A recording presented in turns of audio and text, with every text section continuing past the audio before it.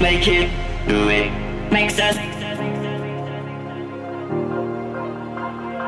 harder, better, faster, stronger.